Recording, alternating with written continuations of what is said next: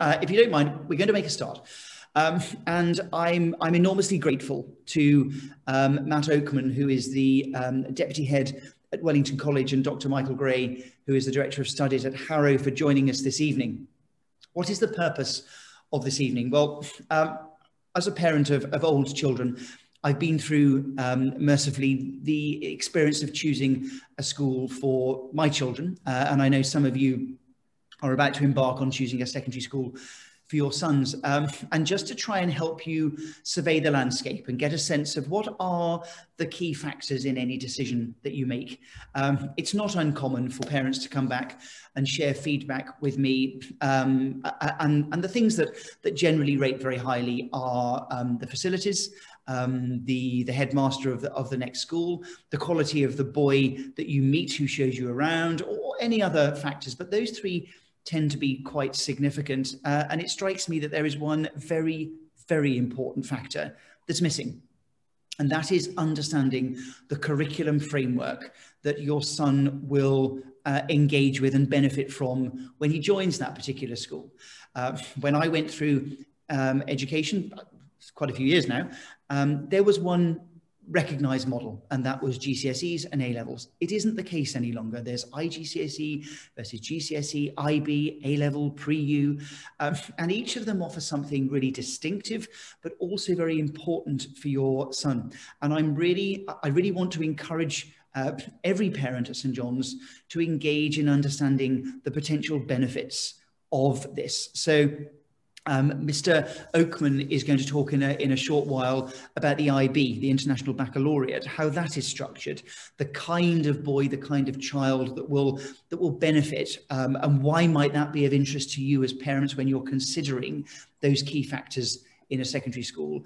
Mr. Grey is going to very kindly talk about uh, GCSE, IGCSE, A-level, pre-U, um, and that kind of thing. Uh, they come from a position of experience. They run the academic programs at their schools, so they are the best people to come and talk to us this evening. So, um, uh, uh, Matt, thank you very much indeed. Michael, thank you uh, sincerely for your time. We will be stopping um, uh, on the nose of 7.40. I know you've got sons to get into uh, to bed uh, and that's what we that, that's the time frame we've set for this evening and that's ample time to delve quite deeply into this so without further ado uh, michael would you mind kicking off please um, and just talking about a levels gcse's and the like you're welcome to share your screen with us perfect thank you very much charles and thank you very much for um, uh, jo joining tonight, and I hope you can all see my screen okay. And I'm really delighted, Charles, to be here. Thank you for the opportunity. And thank you also for putting the emphasis on the curriculum. And this is something that's really important to me and really important to what we've been doing at Harrow over the last 18 months or so. Because what we've been doing is conducting a no assumptions curriculum review. And at the heart of what we've been trying to do is to really think what is it that students need moving into the 21st century? What is it in terms of making sure that they're maximizing their employability and so forth? So we've been asking lots of questions. And in terms of the curriculum, we were really keen to try and be as open-minded as possible and to think what qualifications do people need as, as they move forward into the second half of the 21st century. So rather than have conversations just with educationalists and in a kind of internal perspective, we sought to go out quite widely in terms of um, speaking to different people. So we've spoken to lots of HR directors from FTSE 100 companies.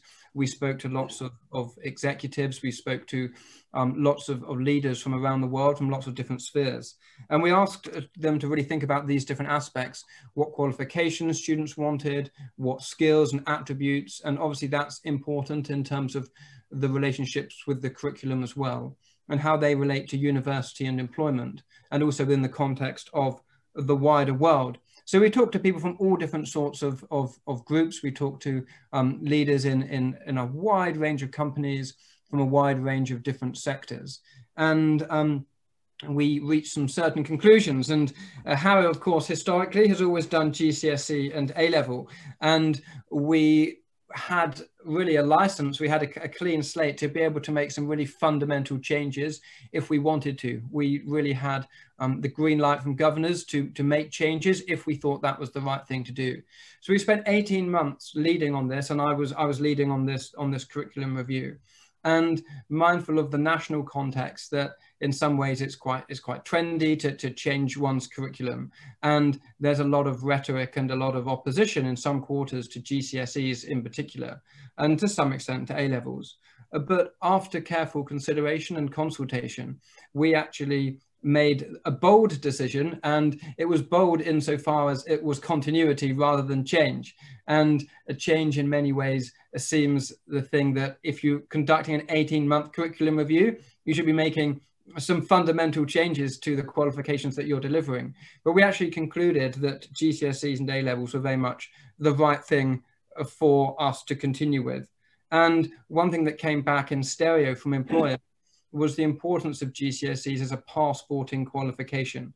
It's not that they provide you with everything that you need to be real world ready. There's lots of other things that are needed, but they're vitally important in order to uh, to get your foot in the door, to get that interview, uh, to get the job. And it was almost taken uh, for granted that this was something that was vitally important. You mentioned, Giles, around GCSEs and IGCSEs. At Harrow, we do a combination of both we adopt a very liberal curriculum insofar as it's very much up to the head of department whether they want to take an IGCSE or GCSE for, for the boys, whether they which exam board they use and so forth. So there's a lot of autonomy. And what we want to do is we want to make sure that the boys have the best curriculum, the curriculum that's the most enriching, the one that's most rigorous, the one that's most exciting and, and best in preparing boys for the next phase of their education.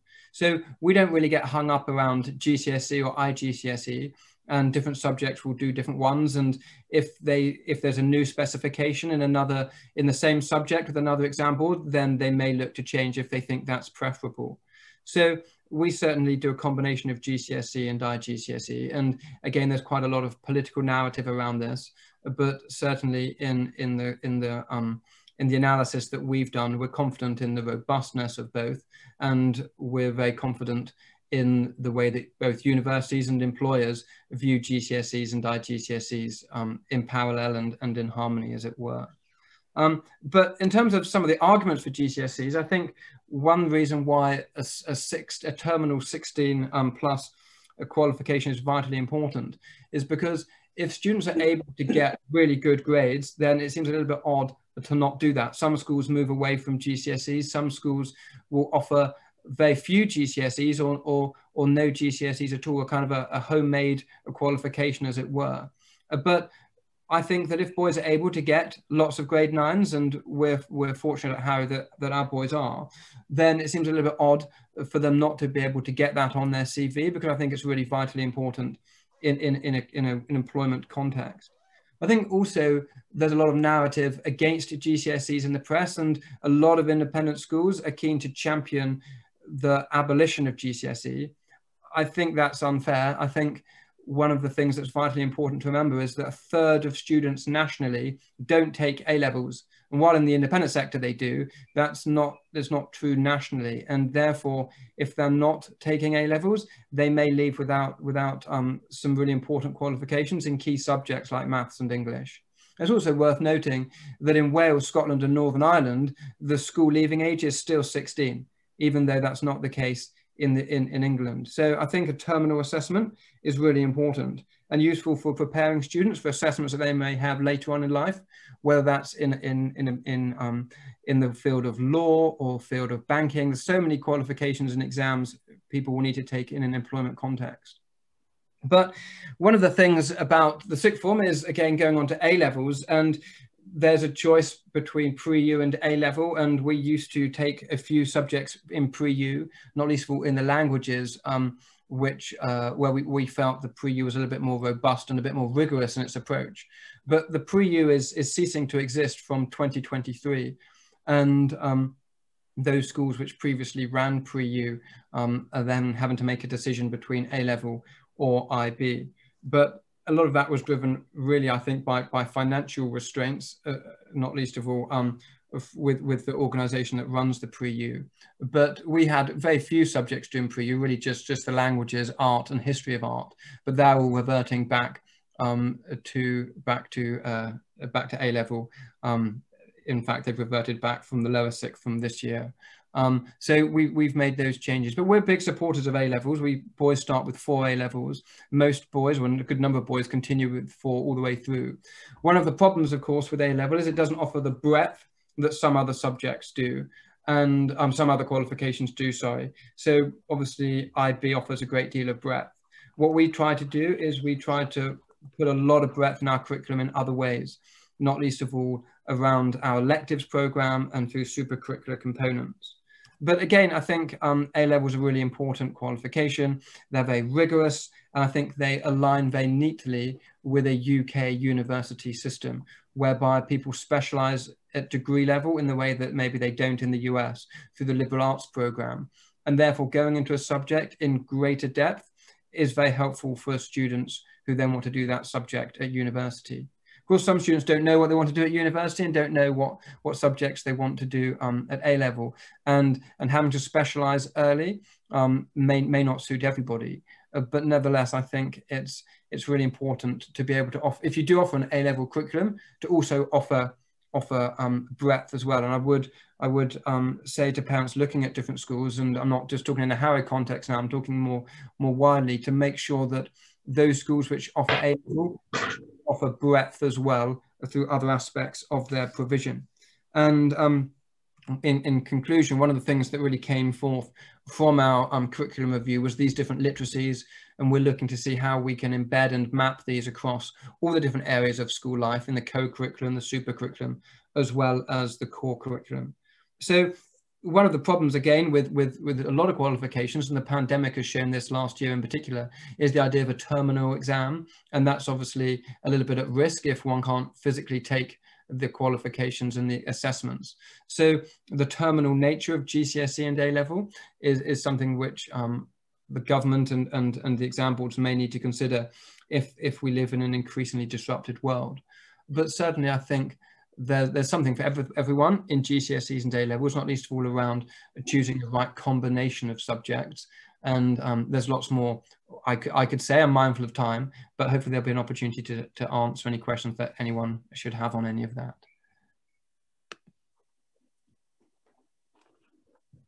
Um, Michael, thank you very much uh, for that very succinct but helpful over, overview. Um, I think before we take questions, if, if you don't mind, um, I'll hand over to uh, Matt, who is going to just outline um, the IB and how that might work. And then towards the end, um, we can we can bring some questions together. Thank you very much. Thank you, and uh, lovely to uh, have the opportunity to uh, speak to you all this evening. Um, I wouldn't disagree with a, a lot of what um, Michael has said there. You know, indeed, we do uh, the same amount of GCSEs, we do the same mixture of national GCSEs and IGCSEs. Um, and as a school that offers a dual curriculum in the sixth form, both A level and IB, we also hugely value A levels and everything that they give our students.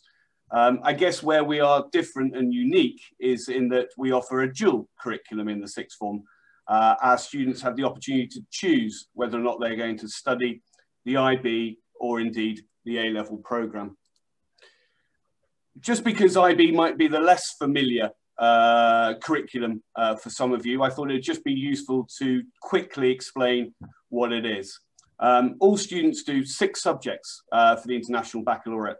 They do three at HL, high level, and then three at standard level. And in addition to the breadth and depth that you get from those six subjects, there is also three other elements to the IB, which are compulsory for all students. Everyone embarks on a theory of knowledge course, uh, which results in an essay and a presentation at the end. Everyone also embarks on the extended essay, which is a 4,000 word uh, piece of research uh, on their chosen topic and study area, uh, which is excellent for sort of uh, personal statement and university options as well. And everyone has to fulfill the community action and service program, which in many ways are the normal uh, kind of activities that students would be engaged in, whether they're at Wellington or Harrow uh, but it formalizes the necessity for that, which is a, uh, another uh, positive factor behind the IB. It values what you do beyond the curriculum as well as what you actually do within the curriculum. So what are the benefits of the IB? Well, Wellington made a decision uh, back in uh, uh, 2007 uh, that it was going to introduce the IB. Uh, and our first students sat their IB exams back in 2010. So we are very much well uh, embedded in terms of being a school that offers both IB and A levels. So for us, the benefits are considerable. Um, and I've highlighted some of these here for you on this slide. The fact that it combines the depth that you get with the three higher levels with the breadth by also doing three standard levels as well, as well as the EE, the TOK and the CAS. In our view, it is a more globalized and international curriculum uh, and therefore more 21st century proof. It's also very interesting to note there's no grade inflation in the IB and hasn't been for 30 years, which gives it a solidity, not just in terms of the UK market, but also the international market. It's also very well internationally recognized. It's not to say that A levels aren't, they are.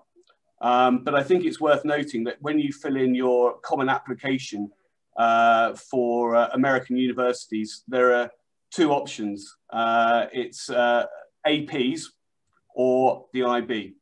There isn't an A level option, which kind of just shows you, uh, I guess, the extent to which uh, particularly for American universities, whereas Michael alluded to, the liberal arts program is the one that's predominant.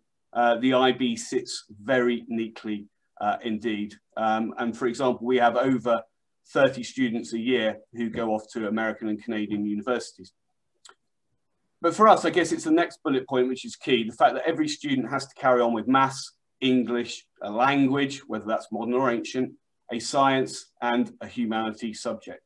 In addition to those five core areas, which everyone has to fulfill, the sixth subject can be a second language, a second science, a second humanity, or indeed it can be a creative or performance-based subject. So if you're a science specialist, you can still take that route. If you're a linguist, you can still take that route. The other benefit for many of our students is there's coursework in every subject. Um, now that's not for everyone. And indeed, actually, that's why some of our students might choose A-level rather than IB. But many actually like the fact that there is more continuous assessment in the IB than A-level. Some A-level subjects have coursework, but not all. There's also what I call the tough IB and the strategic IB. Um, the tough IB may well be maths higher level, physics higher level, chemistry higher level, etc. But they can also take a slightly more strategic IB, um, where for certain students, uh, actually it might be a case of picking the right framework of subjects in order to enable them to get into the 32 to 37 point bracket, uh, which will get you into a sort of good lower level Russell Group university. It's also the diversity of the curriculum uh, that is on offer within the IB. ESS, Environmental Systems and Societies, psychology, which we offer at IB, but not at A-level, visual arts. We're also now looking to introduce in the next couple of years, anthropology uh, and film studies as well. And just to show you a little bit in terms of the IB story at Wellington, um, you can see that in 2010, our very first year of examinations, uh, the average point score was just over 35. Since 2014 onwards, effectively it's been 39 plus, and indeed in the last two years, 40 plus.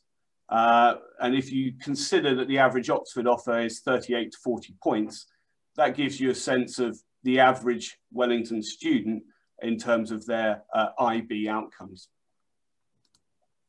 And it's worth noting that uh, university offers, which when we started the IB in 2010, were not aligned with the difficulty and demands of the IB, now are. Uh, we had to fight hard in the first few years of the IB with certain universities to ensure that they pro properly recognised um, and understood the difficulty levels of the IB, not least the fact you were doing six separate subjects plus the other demands. Now they are properly aligned and we feel they're very fair in terms of the university offers that are made. Uh, and just a few examples there to show that. Medics tend to be around 36 to 38 points, standardized offer. Oxford is 38 to 40. KCL a few years ago uh, reduced their IB offer from being a standard of about 38 down to 35, 36. Exeter, again, a good mid-range Russell Group University, tends to hover between 36 and 38 for its most popular courses, just to give you a sense. I thought it'd be interesting just to show you a slide in terms of how things have changed at Wellington in terms of IB and A-level numbers. Uh, as you can see there in 2010, the first cohort uh, hovering around 20% uh, of the year group doing IB. And you'll see that over the subsequent 10 years, the IB has now overtaken the A-level uh, and is now the most popular of the two courses. We have 51% doing the IB and 49% doing the A-level, which is a wonderful place to be in because it means that the dual curriculum offering is genuinely that. Uh, there isn't a sense that, oh, X student is definitely going to do the IB and Y student will definitely do the A level. We go through a really rigorous subject choices process in the fifth form, year 11, uh, and students get that wonderful opportunity to take a step back and to think about what kind of learner they might be, what kind of curriculum they're most suited to, whether it might be A levels or whether it might be the IB. And actually, in terms of the A level, just very briefly, uh, for Wellington students, most students will do three A levels and they'll do the extended project qualification, the EPQ, uh, which is the sort of A level equivalent, if you like, of the extended essay within the IB. So we've tried to make sure that uh, both curricula uh, are as rigorous as each other the future of the IB for us, well, we'll continue to offer both. Um, that's absolutely set in stone. There, there, there isn't a sense that uh, we will be full IB or full A level again. Uh, for us, the dual curriculum offering is one that we will certainly retain. We see it as a genuine opportunity for student and indeed parental choice. Uh, choice is probably one of the most important words in terms of the Wellington curriculum. Uh, we have diversity and choice throughout everything that we offer uh, in terms of our elective subjects in year nine, five different languages to choose from, uh, and it's embedded therefore also within the sixth form offering. And as I've said, 51% now take the IB, and we project that will probably rise to about 60% uh, by about 2023, 24, and we'll probably then flatten out at that point, uh, and it will probably end up at 60, 40 or thereabouts split uh, probably for the next kind of uh, decade uh, or so. We are looking to introduce more subjects into the IB uh, because it allows us to do so. Um, and one of the benefits in COVID times has certainly been that whereas A levels obviously in the summer of 2020 suffered huge grade inflation um, as a result of centre assessed grades, CAGs, the IB didn't. The IB retained uh, its kind of standards in terms of a seven being a seven, uh, 45 points still being 45, uh, and a real sense, therefore, of uh, certainty in uncertain times. Um, because it'll be very interesting to see what the government uh, uh, will be announcing tomorrow uh, in terms of exams summer 2021. So hopefully that gives you a brief insight into the IB, why we do it, uh, but why we also do A levels as well, because we still feel they are equally valuable, but we like the idea of student choice. Um, my email address is up there. Um, please do feel free to ask me any questions you'd like at any time. I'm always happy uh, to talk about the IB and A level and our dual offering at the sixth form. Matt, thank you. Thank you very much indeed. Um, Ladies and gentlemen, um, are there any, I mean, I've certainly got a couple of questions, but are there any questions at the moment? Um, I think you, uh, if I'm not mistaken, I think you can raise your hand or simply turn your microphone on if you have any questions you'd like to ask either to Michael or Matt.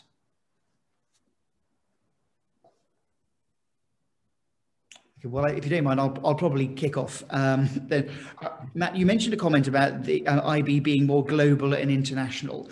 I mean, there's there's two ways of looking at that. There's there's a sense of does it give does it give the pupils a more global perspective in terms of the universities they'll try, or is the curriculum more globally aligned in terms of whether it's politics, whether it's geography, or so. Can you just outline a little bit more about what you mean by making it more global? Yeah, no, absolutely. I mean, it's really interesting because, uh, like many schools at the moment, we are looking at the diversity of our curriculum, um, given sort of the events of 2020. Um, and some of our students within the sort of global citizenship, which is one of our service strands, are actually doing an analysis of the difference between the A-level and IB curriculums in certain subjects. And one of the things they've already uncovered, which we already knew, is that the IB is less Euro-centric uh, in terms of its curriculum content, certainly less UK-centric.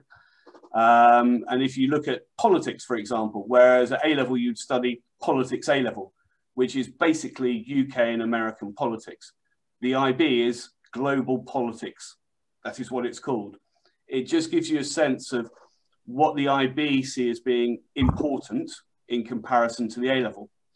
I'm an historian. Um, so, for example, I teach mainly the IB, and the IB is much more about kind of uh, history across all continents.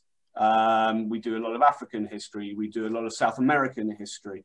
Um, whereas if you look at the A-level history content, it is much more traditional, perhaps, uh, in its scope.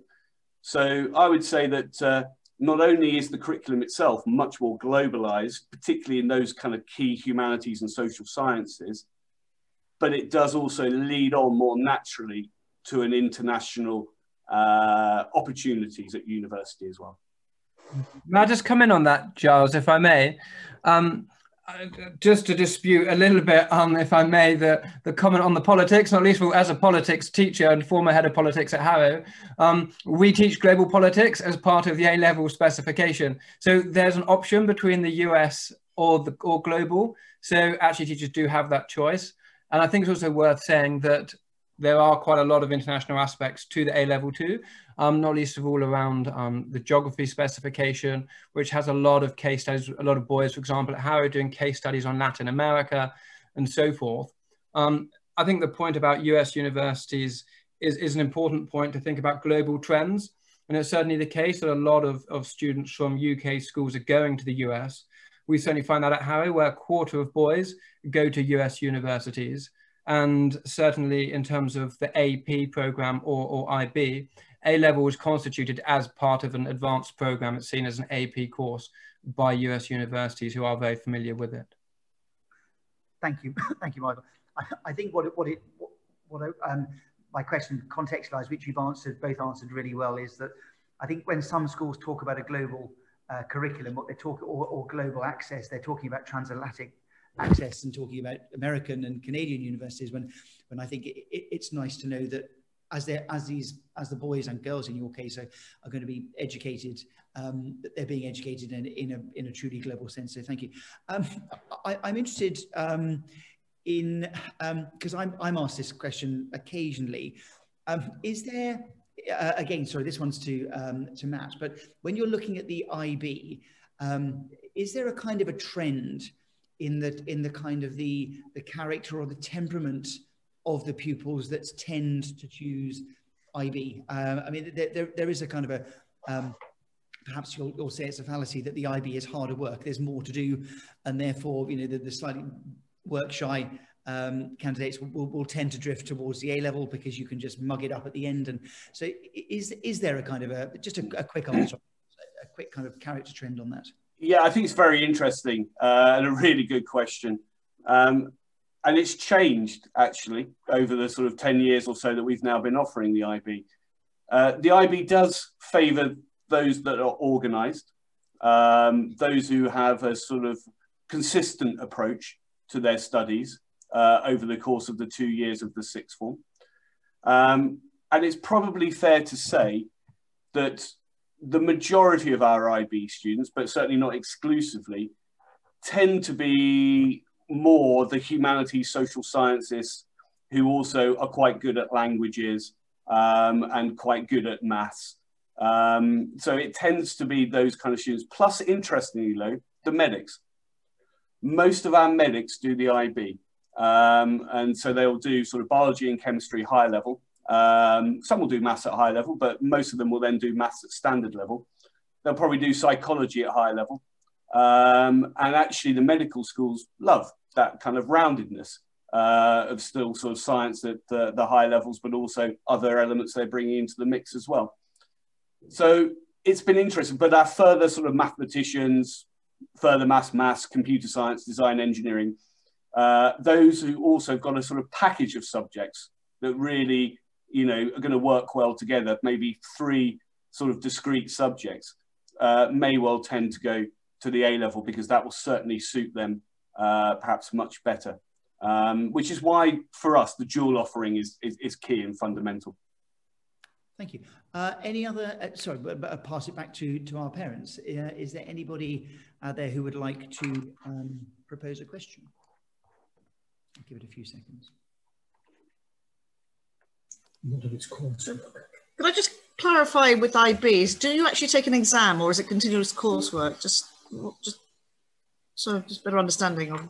Yes. Um, so for most IB subjects, um, it tends to be that it's about 20 to 30% coursework. Um, and for higher level subjects, uh, you will take three exams, three written papers. Uh, and for standard level subjects, two written okay. papers. Um, so it's a, it's a combination. Uh, English is the one that has the most coursework. Uh, it's 40% coursework.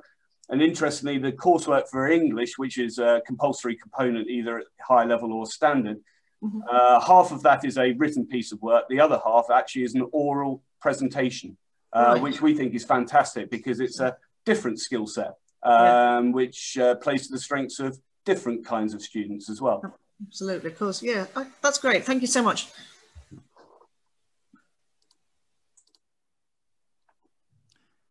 Any other? While, whilst people are, um, are, are, thinking of their questions, um, a question to you, Michael. Um, you, you, talked about the, the no assumptions um, uh, review that you did, um, and, and, and, the combination of that was that you needed kind of breadth, and you, you chose the, the kind of the A level, and then underneath um, you kind of supplanted it with with the kind of the, the, the, richness and the diversity that, that you could say is is in the is in the the, the IB. Um, perhaps if you can just um, dig a little a little bit deeper in terms of. Um, it, strikes me that in a sense you've got your you've got your your A levels, your three stronger, then you've got your three lower. What, what was the, what was the particular attraction of keeping those kind of two separate systems, um, and and why why is that perhaps better for um, preparing a, um, a child for for university? Yeah, thank academically, but also temperamentally, um, because yeah, I, am seeing my my daughter go to university now, and she's doing a subject where she's got to be able to write essays and do kind of technical stuff. Mm. Um, and and she was saying that uh, she wished she'd done an IB in the sense of just more essays, more exposure. So. Um, going to university, they, you know, some of these students are going to need to still have a, a wide variety of skills. So I'm interested just in, something a little bit more about okay why ultimately stay with the with the A level. Yeah, I think that's a great question. Thank you. And one of the things that's at the heart of, of Harrow is our is our focus on breadth as well as on depth. And I think the A levels certainly offer that depth in terms of breadth all our students start with four. A number of them start with five, in fact. A lot of our further mathematicians will start with five. Some boys do computer science off timetable. There's the odd boy who's therefore doing six A levels, um, who are obviously some of the, the most academically able of, of the boys. Um, but they also have an electives program, which is compulsory in the sixth form and in, and in the removes and fifth form years 10 and 11. And the electives program is three periods a week in the sixth form. And that can be on a whole range of different things. And we have about 50 different electives from which they can choose. So that might be on something like um, the art of programming. So for boys who maybe have never had the opportunity to, to code before, to really get to grips with that, or it might be super physics, which is undergraduate level physics for boys who want to go on and read engineering at university. So there's a whole range of different things. So you therefore get that breadth and that depth, and that's also really important in getting that global perspective as well. So one might be looking at the history of the Middle East, for example, as an elective and do three periods a week on that for a half term. And that range of opportunities there is really important. Then we also make sure that all boys do project-based work. So that might be the engineering scheme, which is vital for boys' success in getting to Oxbridge and Imperial for engineering, where we have a lot of success. Or it might be through prize essays. So a little bit like the extended essay in the IB, and boys have the opportunity to do lots of prize essays.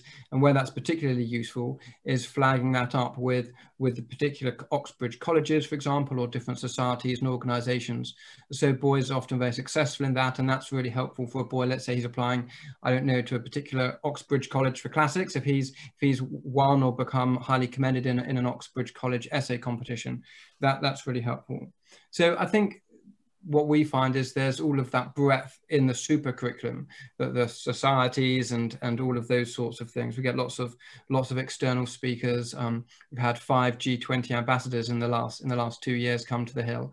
So i think the range of speakers and the quality of speakers that come help to also provide that that perspective and and that breadth. But also as you say i think it's really important. Boys have an opportunity to do essays. They have an opportunity to do do practical projects and all of those super curricular opportunities and making sure there's protected time in our timetable to support boys with that's really important. But temperamentally, I think it's also important that we help boys to foster independence and that not everything needs to have a specific examination framework within it. It doesn't have to fit within an IB model. It doesn't have to be you have to jump through this hoop and jump through that hoop and jump through that hoop but to give boys the autonomy and the independence to be able to say, actually, I'm really interested in drones. So they set up the Drone Society at Harrow, or they're really interested in, in computer science, so they want to build a Raspberry Pi computer. So it's about giving them the freedom to be able to, to pursue their interests to the greatest possible extent. Okay, so uh, breadth and flexibility and adaptability, I think, is mm is, is what drove the is what drove the, the, the decision. Um, I, am going to let, um, we, there's two minutes left, Matt, so I'm going to let you um, have the final word. So uh, is there anything you want to finish up with? No, just to say that, um, you know, obviously the A-level curriculum for us is, is, is one that we also value. Um, I'm obviously talking about the IB this evening because it's uh, the second part of our offering, or but very much a dual and joint offering. Um, but the A-level provides a really valuable set of qualifications in the curriculum for many of our students. Uh, and obviously we do all of those elements uh, that Michael alluded to uh, just now, uh, in addition to A-level and IB. Um, and I guess for us, the key thing that if you think your son might be interested in Wellington is that element of choice. Um, choice from year nine onwards, uh, and really what is a fundamental choice in the sixth form. Um, and as I said earlier, that opportunity just to take one step back from education uh, at the age of 16 and genuinely reflect on what kind of learner they are, uh, what they want out of the sixth form, um, and having an option to go either into uh, an A-level or IB curriculum. Uh, and that is probably the most fundamental element that drives our academic program uh, uh, at Wellington. Thank you, Matt. I would just um, finish with one very brief um, reflection. I've um, I, I keep in contact with a lot of the old boys who will come back from time to time or email me or we'll meet for a cup of coffee or, or whatever. And, and the reason I, it, this isn't just a, a random invitation to um, Matt and, and Michael. Um, of all of the schools our boys um, go to, I've noticed that the boys at Harrow uh, and Wellington are amongst the most engaging boys in terms of understanding the context of their learning, why they're doing something, where they're going, and, and the decisions that drive that. So underpinning what happens at these schools it, it, doesn't strike me as being random that the boys are part of a part of that journey and I and I would encourage every single one of you when you're looking at schools is yes, it's nice to have nicely mown grass and it's nice to have a beautiful building that you you that you work in and a, and a charismatic headmaster, but your your son's day to day experience is going to be the thing that lights his fire, that gives him the intellectual curiosity and the and, and the independence to move forward and make his own choices and make the most of his education. And, and it strikes me that this evening's conversation hopefully will have, will have just uncovered some of those factors that will now stimulate some, some different questions um, for you, maybe in private reflection, but also maybe in some of the questions you table uh, and pose to the schools when you when you look around. So ladies and gentlemen, um, to Michael, thank you very much indeed. To Matt, really grateful to both of you. Um, and ladies and gentlemen, have a really lovely evening and thank you for joining us.